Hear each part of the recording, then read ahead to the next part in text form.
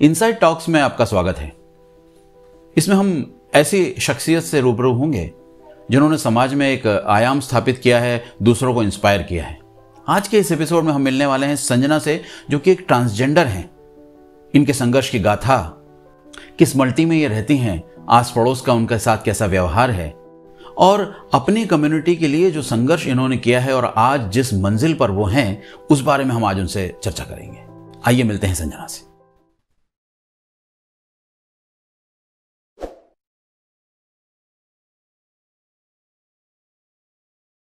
ये जो आप देख रहे हैं, ये संजना की कॉलोनी का प्रवेश द्वार है।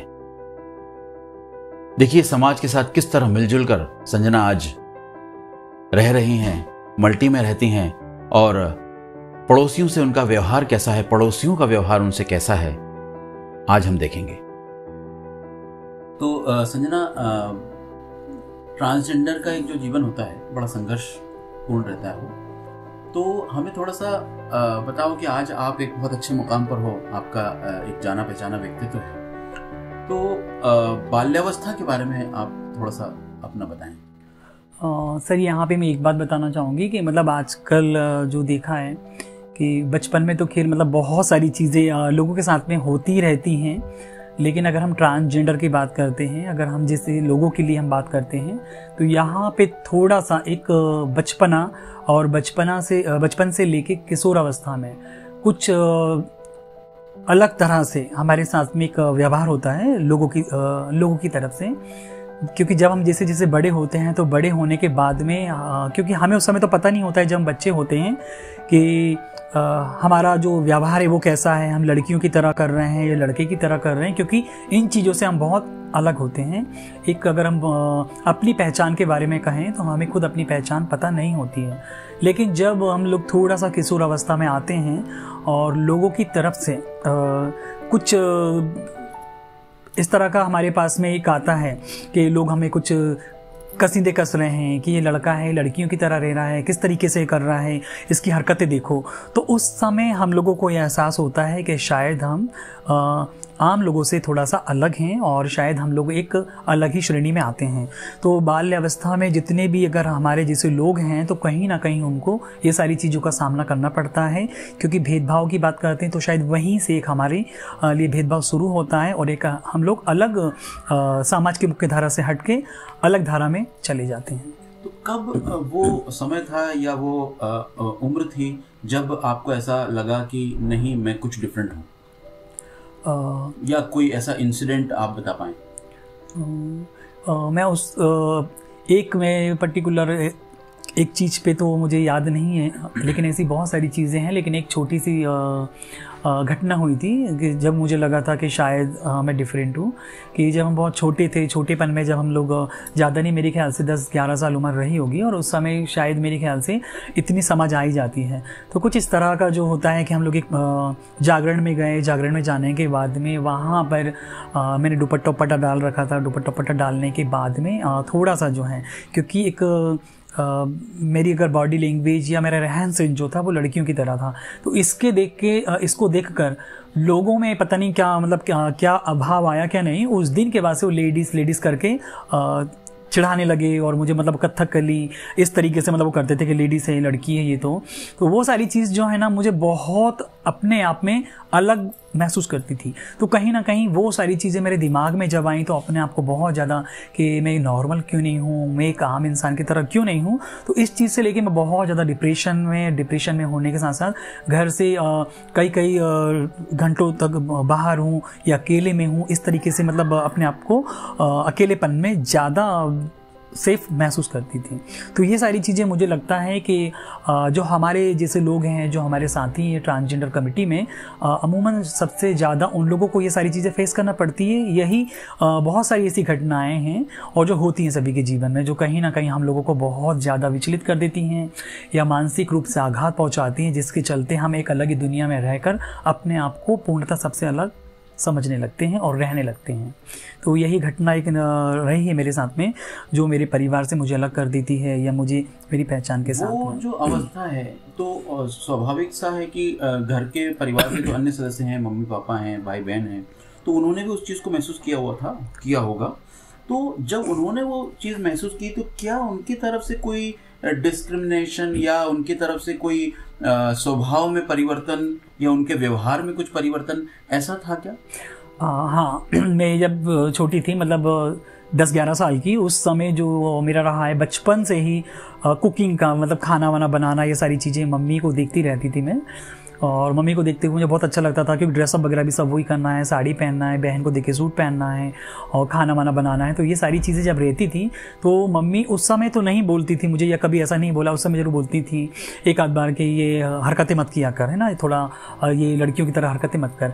लेकिन जो मैंने बाद में फेस किया या मेरे साथ में जो हुआ, वो कब हुआ? जब आसपास के लोगों से। घर वालों की तरफ़ शिकायतें आई कि आपके लड़के को समझा के रखा करो ना, ये कैसा है, लड़कियों की तरह हरकतें करता है वो हिजड़े उठा के ले जाएँगे इसको, इसकी हरकतें सुधारो, ये किस तरीके से हैं?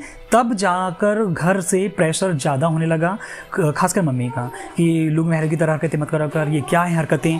तो जब तक बाहर के लोग हस्तक्षेप नहीं करते तो मेरे ख्याल से घर वालों को भी प्रॉब्लम नहीं होती है। इवन शायद मेरे ख्याल से आसपास का जो माहौल है या जो आसपास के लोग हैं, वो सबसे ज़्यादा भूमिका निभाते हैं इस चीज़ को पैदा करने में भेदभाव या फिर हमारे साथ में जो घटनाएँ घटती हैं, हमारे साथ में अत्याचार या मेंटली हमारे साथ में ये सारी चीज़ें होती तो मुझे लग रहा है ये समाज के द्वारा परिवार को ज़बरदस्ती थोपा जाता है।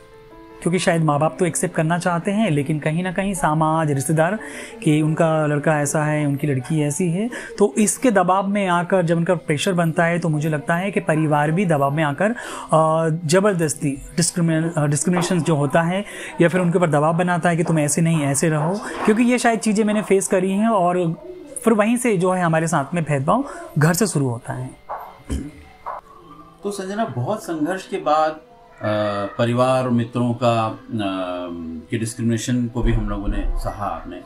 और उसके बाद एक एक्टिविस्ट के रूप में आपने अपने आप को स्टेब्लिश किया।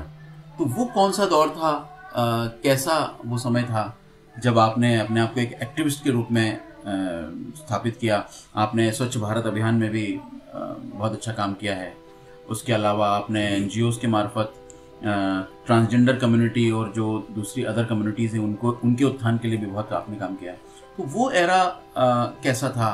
कैसे आप आ, एक सोशल एक्टिविस्ट के रूप में आए? यहाँ पर अगर हम आ, आ, कुछ भी जीवन में सफलता पाते हैं तो कहीं ना कहीं अपने जीवन में कुछ छोटी सी घटना जिसको हम ज़्यादा अपने दिमाग में ले लेते हैं तो कहीं ना कहीं वो चीज़ जो है एक चिंगारी के रूप में काम करती है और आगे चलकर शायद मेरे ख्याल से वो एक घटना पूरे जीवन को बदल देती है। तो शायद मेरे ख्याल से मेरे जीवन में भी कुछ ऐसा हुआ। तो जब अपने परिवार को समाज से दूर होकर हम मैं किन्नर समुदाय में गई, किन्नर समुदाय में जाने के बाद में एन से जुड़ी एन जी 2007 में एनजीओ से जुड़ी एक राजेश स्मृति था, जो हमारे कमिटी के लिए हेल्थ पे काम कर रहा था। उसके माध्यम से जब मैं जुड़ी, जुड़ने के बाद में बहुत सारी चीज़ें मेरे साथ में हुई। कई बार तो लगता था कि शायद मेरी जो पहले मेरा समुदाय है, किन्नर समुदाय, वही मेरे लिए बेहतर है। कभी लगता था कि नहीं, यहाँ पे, क्योंकि बहुत सारी चीज़ें जो हैं, मैं वहाँ पे एडजस्ट नहीं कर पा रही थी। लेकिन समय समय पर काउंसलिंग समय पर समय पर जो है गाइडेंस मिला तो उसके बाद जो है एक मोटिवेशन लेवल बढ़ा। वो भी स्टाफ के लोगों द्वारा बढ़ाया गया, खासकर आपने सर है ना? क्योंकि आपने मेरा देखा स्ट्रगल तो इसमें आपने देखा है किस तरीके से मेरे साथ में उस समय जो आ, मैं स्थिति से उस माहौल से निकली हूँ। कितना डिप्रेशन में कितना मानसिक आघात रहा है मुझे कई बार तो सुसाइड वाला।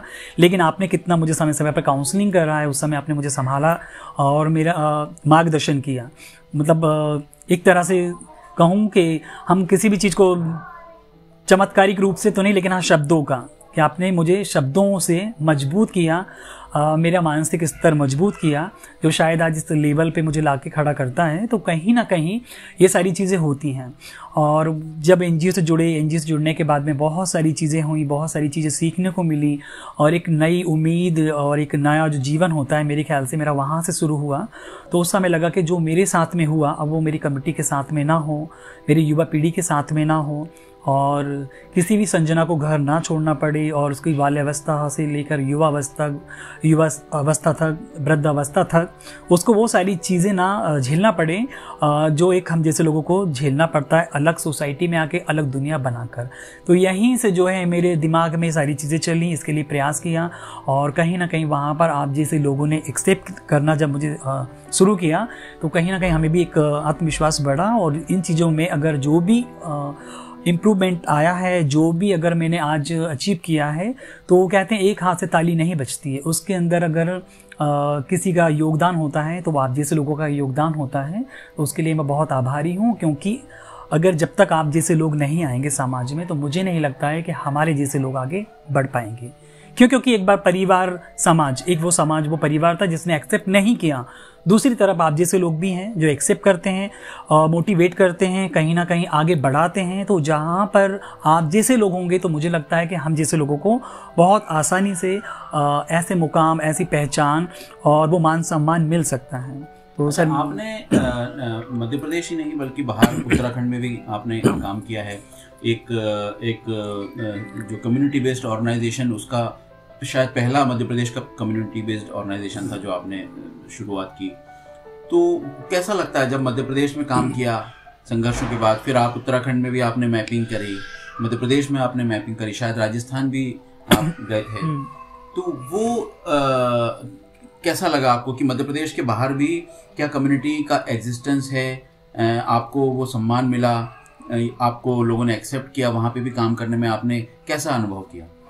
सर, अनुभव बहुत अच्छा रहा है मेरा। मतलब अगर ये कहूँ कि कुछ खट्टा, कुछ मीठा। अनुभव या मैं कहूँ कि काम से ही आता है और जब हम काम करते हैं तो अनुभव स्वाभाविक है मिलना है। तो जब बाहर बाहर डिस्ट्रिक्ट से हटकर स्टेट में हम लोग जब गए, राजस्थान हो या उत्तराखंड हो मैपिंग के लिए जब बात आती है तो कहीं ना कहीं हमारी कमेटी हमें सपोर्ट नहीं करती है। लेकिन दूसरी तरफ़ जब हमें गवर्नमेंट से थोड़ा सपोर्ट मिलता है और कहीं ना कहीं थोड़ा सा फाइनेंशियली स्ट्रॉन्ग भी होते हैं तो हमारे काम में थोड़ा सा एक गति आती है। तो कहीं ना कहीं ये सारी चीज़ें हमारे लिए चुनौती से कम नहीं थी, क्योंकि एक नए रूप में ट्रांसजेंडर कमेटी जॉब के लिए बात कर रहे हैं हम, थर्ड जेंडर आइडेंटिटी की पहचान की बात कर रहे हैं, समाज में कुछ एक अलग पहचान के लिए तो इसमें बहुत सारी दिक्कतों का सामना करना पड़ा, जिसमें अमूमन हमारे समुदाय के लोग इतनी आसानी से मानते नहीं हैं, और ये तो आप भी बेहतर तरीके से जानते हैं क्योंकि आपको 20-25 साल हो गए हैं तो बहुत अच्छे तरीके से कि हमारे जैसे लोग जो हैं, उनकी मानसिक ता जो है, वो वही है पुरानी रूढ़ीवादी परंपराओं को हम एकदम से नहीं बदल सकते, लेकिन उन परंपराओं के साथ में हम बहुत कुछ बदल सकते हैं। तो इसी को लेके थोड़ा सा एक प्रयास किया था हम लोगों ने मैपिंग के माध्यम से, जो कहीं हद तक हमें सफलता भी मिली और आज आप देख रहे होंगे हर जगह जो है कहीं ना कहीं ट्रांस पर्सन जो हैं वो आ रहे हैं, आगे होकर रुचि ले रहे हैं और वो अपने अपने उसमें, अपने अपने स्टेट में, अपने अपने डिस्ट्रिक्ट में कहीं ना कहीं एक अच्छा काम के माध्यम से, एक अच्छी छवि बनाते हुए समाज के मुख्य धारा से जुड़ रहे हैं। स्वच्छ भारत अभियान में आपने काम किया। सदी के महानायक श्री अमिताभ बच्चन जी ने आपको एक टॉक शो में आमंत्रित किया। एक आम अगर हम जनता की बात करें तो एक व्यक्ति की इच्छा रहती है कि एक बार वो महानायक से रूबरू हो मिल मुलाकात हो। तो कैसा अनुभव हुआ आपको जब उन्होंने स्वयं आपको बुलाया और आप उस टॉक शो में गए और आपका वहाँ पे सम्मान हुआ? वो कैसा अनुभव था? क्या फीलिंग्स थी?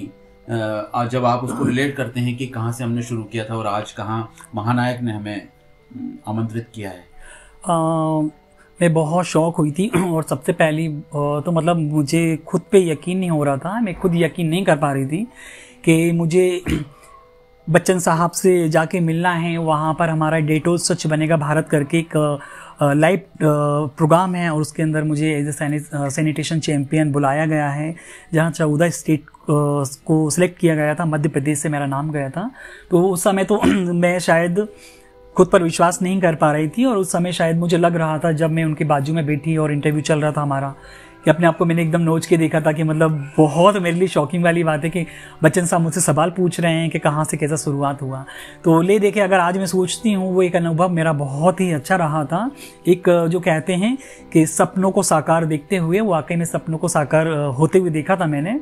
और वहाँ पर जो चीज़ मुझे आज मैं महसूस करती हूँ तो वो ये कि कर्म अगर आपके अच्छे हों और नीयत आपकी अच्छी हो, और अगर मार्ग दर्शक आपके सही हों तो आप दुनिया में वो सब चीज़ें अचीव कर सकते हैं। कोई भी बड़ी बात नहीं है, क्योंकि बच्चन साहब भी आज हमारे और आप जैसे लोगों के बीच से ही बच्चन साहब बने हैं। तो कहीं ना कहीं हमारे कर्म जो हैं, वो समाज के हित में, राष्ट्र हित में अगर होते हैं तो बिल्कुल आप अपने आप में एक खुद लोगों के लिए एग्ज़ाम्पल होते हैं, उदाहरण बनते हैं, मिसाल के तौर पर दिए जाते हैं। तो यही मेरा एक अनुभव रहा है कि हम काम अच्छे करते रहें, समाज के लिए करें, अपने समुदाय के लिए करें। आप जिस समुदाय के उस समुदाय के लिए सोचें। तो बेशक वो समुदाय के लोग आपको एक दिन सेलिब्रिटी बना देंगे। जैसे सर आप लोगों ने मुझे बनाया है इसके लिए थैंक्स ना एक पूरे संघर्षमय जीवन के बाद, एक एक्टिविस्ट बनने के बाद एक जो आपको सबसे अच्छा बड़ा अहदा मिला है कि मध्य प्रदेश की पहली ट्रांसजेंडर जिसको सरकारी नौकरी मिली है। तो आ, कैसा फील होता है? कैसी लाइफ है एक गवर्नमेंट जॉब में रहने की? और जो आपका इंटरेक्शन होता है सरकारी महकमे से और फिर मीडिया से भी बहुत लोग आपसे रूबरू होना चाहते हैं। आपका आप आज एक इंडिपेंडेंट अपना एक फ्लैट में रह रही हैं सोसाइटी के साथ बीच में अड़ोस पड़ोस है आपका। तो वो पूरा जो एरा है, उसमें कैसा महसूस करते हैं आप? सबसे पहले तो जॉब की तो मैं बात कहूँ तो जॉब में क्योंकि कहीं पर भी कोई अगर एक हम हम जैसे लोग कहीं इंटर होते हैं, जहाँ हम लोग कहीं पर जाते हैं किसी ऐसे माहौल में, ऐसे सोसाइटी में तो शायद मेरे ख्याल से कौतूहल का विषय आज भी हैं। अभी इतने अच्छे तरीके से, या मैं कहूँ पूरे तरीके से समाज ने हम लोगों को नहीं स्वीकारा है। अगर मैं अपनी बात कहूँ तो आज मेरे को सोलह सत्रह साल हो गए हैं सोशल वर्क और यहाँ जॉब में आते हुए, क्योंकि आज मैं जो देख रही हूँ कि अगर सौ में से दस लोग हमें एक्सेप्ट कर रहे हैं तो नब्बे लोग नहीं कर रहे हैं, कहीं ना कहीं वो असमंजस की स्थिति में हैं। तो इसमें अभी थोड़ा समय लगेगा और रही मेरी जॉब की बात तो जॉब में भी जब मैं पहली बार गई थी जब मैं नियुक्त हुई थी उसके बाद में तो वहाँ के लोग भी थोड़ा सा अनकम्फर्टेबल थे, उन लोगों को बात करने में डर लगता था, कहीं ना कहीं लगता था कि कौन है, क्या है? मतलब बहुत सारी चीज़ें जो निकल के आई मेरे सामने, कि लगता था उनको। कि पता नहीं ट्रांसजेंडर है किन्नर है किस तरीके से व्यवहार किस तरह का आचरण होगा कहीं ऐसा ना हो यहाँ पे। तो ये सारी चीज़ें होती हैं और अमूमन मतलब स्वाभाविक है क्योंकि मतलब सही बात है क्योंकि हमारे नहीं हर समाज में कोई ना कोई ऐसे लोग हैं जो पूरे समाज को रिप्रेजेंट करते हैं। तो कहीं ना कहीं हमारे समुदाय में कुछ लोग हैं जिन्होंने समाज की छवि खराब रख, कर रखी है। तो वो स्वाभाविक है लोगों की मानसिकता ऐसा होना है। लेकिन आज जो है मेरा प्रयास है कि मतलब उस छवि को सुधारूं और एक अच्छी नई छवि स्थापित करूँ समाज के बीच। तो मुझे एक मौका मिला है आज मैं सोसाइटी में रह रही हूँ जिस सोसाइटी में रह रही हूँ। तो शायद मैंने जो काम किए हैं और जो मैं सोशल वर्क के माध्यम से सोशल मीडिया के माध्यम से और कई इंटरव्यूज़ के माध्यम से लोगों के बीच में लोकप्रिय बनी हूँ तो कुछ लोग मुझे जानते हैं। तो एक अलग सा रिस्पॉन्स मिलता है अलग सा उनका एक बिहेव होता है मेरे लिए। आ, रिस्पेक्टफुल बहुत सम्माननीय होता है, बहुत से लोग जानते हैं तो मुझे कोई फ़र्क नहीं पड़ता है कि अगर दो लोग ने मेरा अपमान करा है तो एक तो मुझे रिस्पेक्ट कर रहा है तो मैं उस पर फोकस करती हूँ। और यही मेरा लक्ष्य है कि कहीं ना कहीं अगर मुझे दस लोग गलत बोल रहे हैं, अगर चार ने भी मुझे अच्छा बोला है तो मेरे लिए शायद वो बहुत पावरफुल है। तो जॉब भी मेरा अच्छा चल रहा है, इसी वजह से कि अगर स्टाफ में कोई मेरे लिए गलत बोल रहा है तो जाने दो, लेकिन बाकी दो लोग तो मेरे को सपोर्ट में हैं। तो ये एक एनर्जी देता है अपने आप में, सोच में थोड़ा सा बदलाव लाता है, और कहीं ना कहीं एक अच्छी अनुभूति होती है। कि जाने दो। क्योंकि परिवार में भी यही यही सारी चीज़ें होती हैं अगर बहन ने एक्सेप्ट किया तो भाई नहीं कर रहा है ना? तो हम सबसे ज़्यादा बहन से क्लोज होते हैं। तो वैसे ही ऑफ़िस का है तो ऑफ़िस में भी जो मेरे से ज़्यादा क्लोज है मैं उससे ज़्यादा क्लोज हूँ। तो वो हमें कि जो हमें रिस्पॉन्स दे रहा है तो मुझे लगता है हमें उसके साथ में ज़्यादा क्लोज होना चाहिए और हमें उसको समझना चाहिए। तो चाहे जॉब हो सोसाइटी हो कहीं पर भी हो अगर आप ये चीज़ों को लेके चलते हैं तो मुझे लगता है कि आप बहुत अपने आप को प्रसन्न महसूस करेंगे, प्रसन्न रहेंगे और दूसरे लोगों को भी आप प्रसन्नता देंगे। तो ये मेरा जॉब का है। चाहे कहीं का भी हो, मैं एक ही चीज़ को रखती हूँ कि जाने दो, क्योंकि जब मैं बाहर निकलती हूँ तो स्वाभाविक है, मुझे देख के लोग जो नहीं जानते हैं, वो मेरे लिए गलत ही सोचेंगे, और लेकिन जो जानते हैं तो वो रिस्पेक्ट करेंगे, वो हाय हलो भी करेंगे तो मैं उन लोगों से ज़्यादा समय देती हूँ, उनके साथ में ज़्यादा क्लोज होती हूँ, और कहीं ना कहीं उन लोगों के साथ में ज़्यादा अच्छा करती हूँ कि शायद कहीं ना कहीं उनमें से ही कुछ लोग दूसरों को अच्छा संदेश दें, और वही हमारे बीच के लोग होते हैं, जो एक गलत और सही। तो बेहतर यह कि हम सही बने रहें और एक अपना व्यवहार जो है, कुशल बनाएँ। मैं सभी समुदाय के लिए बोलूँगी किन्नर समुदाय की नहीं, क्योंकि कहीं ना कहीं हर वर्ग में देखेंगे हम, महिला वर्ग हो, पुरुष वर्ग हो, चाहे किन्नर हो, कहीं ना कहीं आप देखेंगे कि नेगेटिव थॉट्स के लोग मिलते हैं। तो ऐसे लोगों से दूर रह के हमें ऐसे लोगों के बीच में बैठें तो ज़्यादा अच्छा है और अपने काम पे फोकस करें। और जो हम काम कर रहे हैं, उस पर ज़्यादा रुचि लें तो मेरे ख्याल से शायद हम इन चीज़ों से जब हटते हैं तो आप एक अलग नई पहचान में और अच्छी जगह पे स्थापित हो जाते हैं। एक ट्रांसजेंडर के जीवन की एक और बहुत महत्वपूर्ण पहलू होता है, या एक क्षण होता है, जब वो उसका जीवन साथी हो। और जीवन साथी के साथ आपने समय बिताया, और अब आप एक परिवार में, एक फैमिली की तरह साथ में रहते हैं। तो आ, बहुत कम ट्रांसजेंडर को ये आ, आ, मिल पाता है या ये आ, ये एक प्रकार की उपलब्धि है ऊपर वाले की नियामत है। तो वो अब कैसा अनुभव लगता है जब आप एक आ, अपने जीवन साथी के साथ आ, मल्टी में दूसरे सोसाइटी के साथ आप रहते हैं और किस तरह से वो आपकी केयर हुई आ, समाज ने घर वालों ने दोस्तों ने जब आपको आ, आपका परित्याग किया या आपके साथ डिस्क्रिमिनेशन किया उस वक्त उस व्यक्ति ने आपको संभाला और अब आप जीवन साथी के रूप में रह रहे हैं वो कैसा अनुभव है? आ, मेरे लिए तो सर ये चमत्कार से कम नहीं है क्योंकि शायद आज हमें पंद्रह साल हो गए हैं और आज जिस सोसाइटी में मैं रह रही हूँ और जिस सम्मान के साथ में जो एक बहुत सामान्य जीवन जी रही हूँ, एक गृहस्थ जीवन जो कहूँ मैं क्या हाउस वाइफ की तरह, और मतलब बहुत अच्छे तरीके से तो कहीं ना कहीं उसमें मेरे पार्टनर का सबसे बड़ा योगदान है, क्योंकि जब हम एक तरफ़ कोई ठुकराता है और कोई अपनाता है तो मेरे ख्याल से एक दूसरा जन्म होता है वो हमारा। तो यही रहा है कि मेरे पार्टनर ने मेरे जीवन साथी के रूप में जो आए। अमून वैसे किन्नरों में शादी तो नहीं होती है, लेकिन एक लाइफ पार्टनर बहुत ज़रूरी होता है। जो हमारी भावनाओं को समझे, जो हमारे सुख दुख में हो। क्योंकि ये तो शायद मेरे ख्याल से एक पशु, पक्षी या उनके लिए भी ऊपर वाले ने जोड़ा बनाया है। तो ये भी शायद मेरा सौभाग्य है, जो मुझे एक जीवन शांति के रूप में, मेरे पार्टनर के रूप में, मेरे शादाब मिले हैं हमें पंद्रह साल हो गए हैं और हर दुख सुख में उन्होंने मुझे सपोर्ट करा है और आज अगर मैं सोसाइटी में इतने अच्छे तरीके से रह पा रही हूँ तो उनका सबसे बड़ा योगदान है, क्योंकि शायद हमारे किन्नर समुदाय में कभी भी किसी को ऐसे, क्योंकि आपने देखा होगा कि कहीं पर अगर कोई लड़की या लड़का अकेले रहें तो रेंट पर देते नहीं है ना? तो यहाँ पर एक अलग इमेज बनती है सोसाइटी में, एक अलग समाज में संदेश जाता है और मुझे लग रहा है कि मेरा सम्मान उस वक्त डबल हो जाता है।